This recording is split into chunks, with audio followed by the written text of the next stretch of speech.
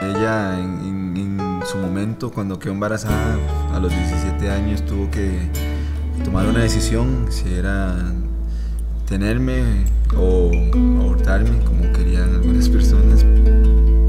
Cuando estaba en la escuela, yo, yo escuchaba a los compañeritos decían que ellos iban a atletismo, ellos iban al poli, ellos iban a correr aquí. Y yo me acordaba que mi mamá iba a hacer ejercicios y, y siempre estaba ahí, pero yo no me acordaba de ver nadie corriendo ahí. Entonces un día yo, yo me fui sin permiso, salí de la escuela, de hecho hasta me fugué. y, y, ahí empezó esto. Siempre fue una madre sobreprotectora, o yo diría que súper protectora. Entonces ella hasta se iba a chaperonas con, con los equipos de Juegos Nacionales a hacer eliminatorias y no me acuerdo si fue algunos juegos, pero sí iba con, conmigo, acompañándome, hacer cualquier cosa, ir a cocinar, con tal de estar ahí vigilándome, porque sabía que yo era medio travieso. Y no, son cosas que, son de mucha felicidad para mí saber que ella me acompañó durante ese proceso, siempre y cuando ella podía. Mi mamá el mayor consejo que me dio fue nunca tener miedo. O sea, ella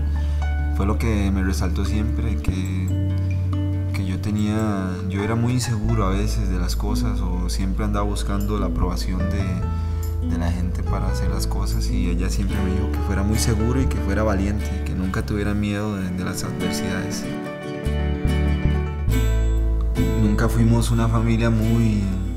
muy adinerada. De hecho, nosotros pasábamos necesidades y yo le había prometido a ella que apenas yo fuera alguien en la vida, apenas pudiera, yo le iba a hacer la casa nueva y de hecho fue, fue difícil los primeros meses, pero al final de cuentas terminamos, terminé haciéndole, cumpliéndole ese sueño y esa promesa que yo había hecho de niño, un niño tonto sin, sin ideas de lo que en realidad era la vida. Yo le prometí eso y cinco años después cumplí lo que le había prometido y fue triste porque a la misma vez haberle construido la casa, hacerle todo, todo como se lo había prometido, ella falleció una semana después, sí pudo, sí pudo ver, sí pudo disfrutar, pero, pero a la misma vez es una gran, una gran satisfacción como persona de mi parte, pero a la misma vez una gran tristeza saber que ella no pudo disfrutar de lo que yo le había prometido.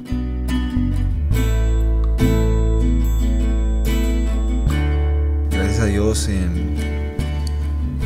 ella, ella me tuvo muchas cosas, pero sobre esas más que todo yo la, yo la amo y la voy a amar siempre porque ella dio su por mí y, yo, yo, yo traté de dar la mía por ella, pero en el momento no, no se pudo y gracias a Dios te digo, tuve una gran madre desde el principio hasta el fin. Hola, soy Neri Cárdenas, porque mamá va primero.